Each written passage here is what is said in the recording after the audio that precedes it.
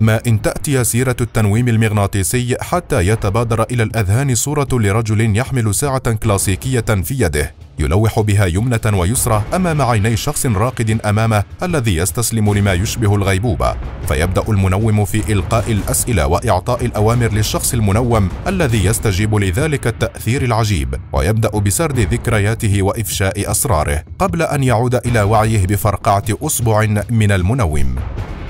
تلك هي الصورة النمطية عن التنويم المغناطيسي أو الإيحاء التنويمي كما صورته الروايات والأفلام السينمائية. لكن الواقع مختلف كثيرا عن تلك الصورة التي تبدو وكأنها عرض سحري لخداع الناس. خلال دقائق قليلة سنعرض لكم تاريخ التنويم المغناطيسي وحقيقته لنعرف في النهاية هل هو علم بالفعل أم أنه مجرد خرافة. ابقوا معنا للنهاية. نرحب بآرائكم ومقترحاتكم التي تتوافق مع سياسة قناتنا فيما هو مرتبط بالمواضيع التي من الممكن أن نعرضها عليكم. شكرا لكم.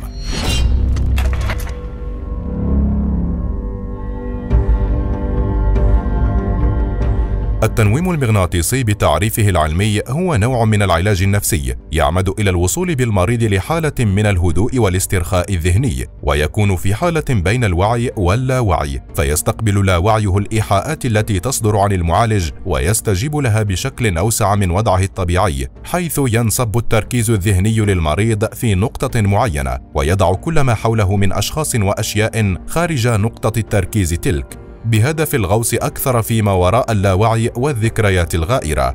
لكن بالرغم من ذلك فإن المريض لا يفقد السيطرة على سلوكه بل يكون مدركا لأسئلة واقتراحات المعالج ومتجاوبا معه. ويعود إلى وعيه بصورة طبيعية. وبخلاف ما قد يعتقد البعض فإن التنويم المغناطيسي يتوقف على إرادة المريض. وعلى ذلك فإن لم يكن يريد الخضوع للتنويم المغناطيسي فلن يستطيع المعالج أن ينومه.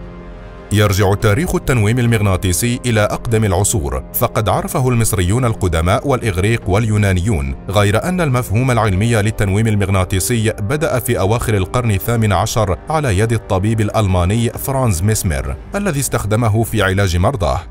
لكن ميسمر كان يعتقد أن التنويم المغناطيسي يعتمد على القوة المغناطيسية الكائنة في النجوم والكواكب وتأثيرها على المجال المغناطيسي لجسم الإنسان، وأن المرض سببه اضطرابات في توزيع هذا المجال في الجسم.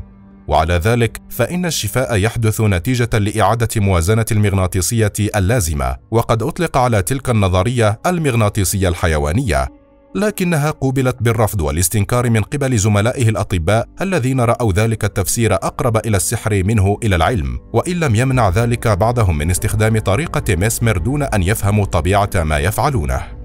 ثم جاء الطبيب البريطاني جيمس برايد في منتصف القرن التاسع عشر فعكف على دراسة تلك الظاهرة وكان هو أول من أطلق عليها مصطلح التنويم المغناطيسي وقد توصل إلى أن العلاج يكمن في الإيحاءات والاقتراحات لأفكار وأفعال يحتاجها المريض للولوج إلى ذاكرته وليس عن طريق قوة مغناطيسية كما اعتقد مسمر تنوعت مجالات العلاج بالتنويم المغناطيسي فتم استخدامه في علاج الاضطرابات العصبية وكذلك الكثير من الأمراض النفسية مثل الرهاب والقلق والتوتر والاكتئاب. كما استخدم في تعديل بعض العادات والسلوكيات غير المرغوب فيها مثل التخلص من التدخين وتعاطي المخدرات والأرق وقدم الأظافر والقمار وكذلك الذكريات المزعجة بالإضافة إلى تأثيره الإيجابي في استعادة الذكريات وحل مشكلات العلاقات الاجتماعية وصعوبات التعامل التعلم وصعوبات التواصل مع الآخرين.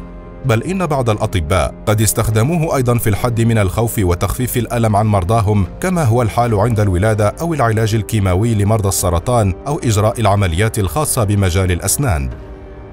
أحدث التنويم المغناطيسي ثورة في مجال التحقيقات الجنائية وأطلق عليه اسم التنويم المغناطيسي الشرعي. فمنذ الحرب العالمية الثانية بدأ استخدام التنويم المغناطيسي في تنويم الشهود والضحايا لمساعدتهم على تذكر الأحداث بوضوح أكبر من خلال فصل العواطف المؤلمة التي تشوش على الذاكرة، لكنه كان يستخدم على نطاق محدود قبل أن تقع حادثة كادت أن تتحول إلى كارثة، وجعلت الشرطة الأمريكية تعيد النظر في هذه التقنية المذهلة. في عام 1976 أغلقت مجموعة من المسلحين إحدى الطرق السريعة وقامت بخطف سائق حافلة مدرسية بالإضافة إلى 26 طفلا ودفنوهم جميعا على قيد الحياة في مقطورة تحت الأرض وفروا هاربين. لكن من حسن الحظ فقد تمكن الرهائن من الخروج من المقطورة بقطعة من الخشب وباستجواب السائق وإخضاعه للتنويم المغناطيسي استطاع تذكر معظم أرقام لوحة ترخيص سيارة أحد الخاطفين وتمكنت الشرطة بالفعل من القبض عليهم وتقديمهم إلى المحاكمة. وبعد تلك الحادثة أدركت الشرطة أهمية التنويم المغناطيسي فجر استخدامه في جميع إدارات الشرطة في الولايات المتحدة الأمريكية. لكن السؤال الذي يطرح نفسه هو هل يمكن يمكن الاعتماد على الشهادات التي يتم الإدلاء بها تحت تأثير التنويم المغناطيسي والأخذ بها كأدلة. كان من الواضح أن الشرطة تثق في التنويم المغناطيسي والشهادات التي يتم الإدلاء بها من خلاله ثقة كبيرة إلى أن وقع ما جعلهم يعيدون النظر مجددا في هذا الأمر. ففي أواخر القرن الماضي أدين رجل يدعى تشارلز فلوريس بقتل امرأة في مدينة دالاس خلال عملية سطو وحكم عليه بالإعدام رغم أنه لا توجد أدلة حقيقية على إدانته سوى شهادة امرأة جرى تنويمها فادعت أنها شاهدت فلوريس في مسرح الجريمة لتأخذ الشرطة بشهادتها وتقدم فلوريس إلى المحاكمة بناء على ذلك رغم إصرار هذا الأخير على براءته. في عام 2016 وأثناء انتظاره تنفيذ عقوبة الإعدام بحقه استطاع فلوريس أن يتواصل مع أحد المحامين يدعى غريغوري جاردنر وحكى له قصته. فقام هذا الأخير بعرض الأمر على أحد خبراء التنويم المغناطيسي وهو الدكتور ستيفن لين الذي اتضح له بناء على العديد من الدراسات والحالات التي شهدها أن التنويم المغناطيسي ربما يضر بقدرة الأشخاص على استرجاع الذكريات بل في حالات أخرى قد يؤدي إلى استعادة بعض الذكريات الخاطئة. وعلى ذلك فلا يمكن الأخذ بتلك التقنية كدليل مؤكد على الإدانة. وهكذا أوقفت المحكمة تنفيذ حكم الإعدام الصادر بحق فلوريس قبل ستة أيام من تنفيذه لكن الشاهدة عادت لتؤكد أنها واثقة بنسبة 100% من رؤيتها فلوريس في مسرح الجريمة وهكذا أرسلت القضية إلى محكمة أخرى لمراجعتها لكننا للأسف لا نعرف مصير فلوريس بعد ذلك. بعد حادثة فلوريس بدأ خبراء الذاكرة يشكون في الشهادات التي جرى الأخذ بها كأدلة تحت تأثير التنويم المغناطيسي، خاصة إذا أجريت العملية بشكل سيء أو كان هناك تحيز شخصي من قبل القائم بالعملية، وعلى ذلك من الممكن أن تكون الذاكرة المستردة غير كاملة أو غير دقيقة أو تستند إلى اقتراح مبدئي أو أن تملأ فراغات الذاكرة بمواد كاذبة. فيمكن أن يؤدي ذلك إلى زرع ذكريات لم تكن موجودة أو أنها تشوه الذكريات الموجودة بالفعل والأسوأ أنها قد تزيد من ثقة الشهود أو الضحايا حول ما شاهدوه. حتى لو كانت ذكرياتهم خاطئة كما تراه الدكتورة كاثرين راميسلاند كيف يتم التنويم المغناطيسي؟ لا بد من المعرفة بأن لكل شخص طريقته، كما أن الطرق التي تنجح مع مريض معين قد لا تنجح مع مريض آخر، لإيصال شخص ما إلى حالة التنويم ينبغي إيصال نشاطه الدماغي أو الوصول بالموجات الدماغية لحالة ألفا ويراعى التالي. الجلوس باسترخاء إما بالتمدد أو جلسة مسترخية ويساعد المكان الهادئ والمحبب والمريح على الاسترخاء سواء أكان ذلك غرفة أو في الخارج لكن يجب أن يكون المكان منعزلا ليساعد على التأمل والاسترخاء. كما أنه من الممكن أن تكون الإضاءة خافتة إذا تم في غرفة أو مكان مغلق. كما أن ارتداء ملابس مريحة وفك أي شيء من المحتمل أن يؤدي لتشتيت التركيز كالساعة أو الحذاء ووجود بعض الروائح العطرية المحببة التي تساعد على الاسترخاء. يجب الانتباه إلى أنه حتى الجوع والعطش سيشتت التركيز واستخدام طرق التنفس العميق المساعدة مع الإيعاز ببدء الاسترخاء وازدياده تدريجياً. شد انتباه العقل الواعي وتركيزه تحضيرا للدخول إلى حالة الألفا من خلال إجهاد العين بالتركيز على كرة زجاجية أو نقطة محددة إذا كانت لامعة من الممكن أن تجهد أكثر وتثير التركيز عليها.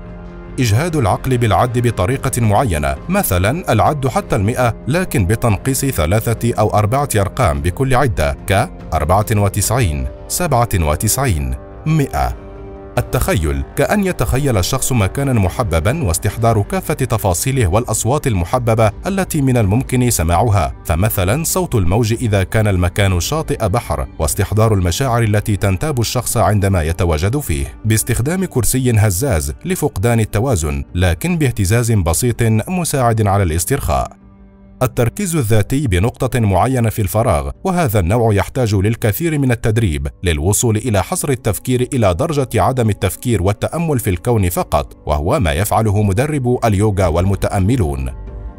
عند التأكد من الوصول لحالة ألفا نصل لمرحلة سرد الإيحاء الاقتراحات أي التواصل الواعي مع العقل الباطن شروط الإيحاء الإيجابية. يجب أن يتمتع الإيحاء بالشعور الإيجابي والتحفيز. تحديد هدف الإيحاء بوضوح وبشكل مبسط وسهل. عدم التسويف والتأجيل إلى أن يكون في الوقت الحالي. فلا نستخدم سأشعر بالسعادة بل أنا حاليا أشعر بالسعادة أنا مرتاح الالتزام والتأكيد والثقة التامة بأن هذا فعلا ما يحدث. والابتعاد عن الأسلوب القهري أو الضغط لأن العقل الباطن لا يستجيب لهذا الأسلوب. التحديد والدقة بأن نربطه بموعد محدد مثلا كل يوم أو وقت محدد ساعة محددة تاريخ محدد وربطه بأسباب ذات صلة قوية بالإيحاء وتكريره مما يدفع العقل اللاواعي لنقله للعقل الواعي.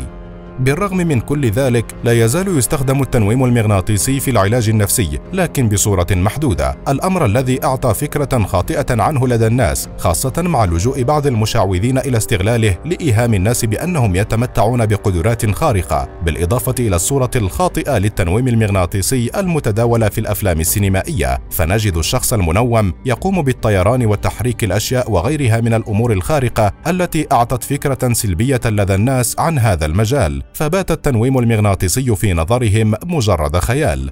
لكن مع كل تلك الاستخدامات المذهلة للتنويم المغناطيسي بدأت تتغير صورة الناس عنه وزاد إقبالهم على استخدامه بعد أن اقتنعوا بأنه تقنية علمية مذهلة تساعدهم في حل الكثير من مشاكلهم.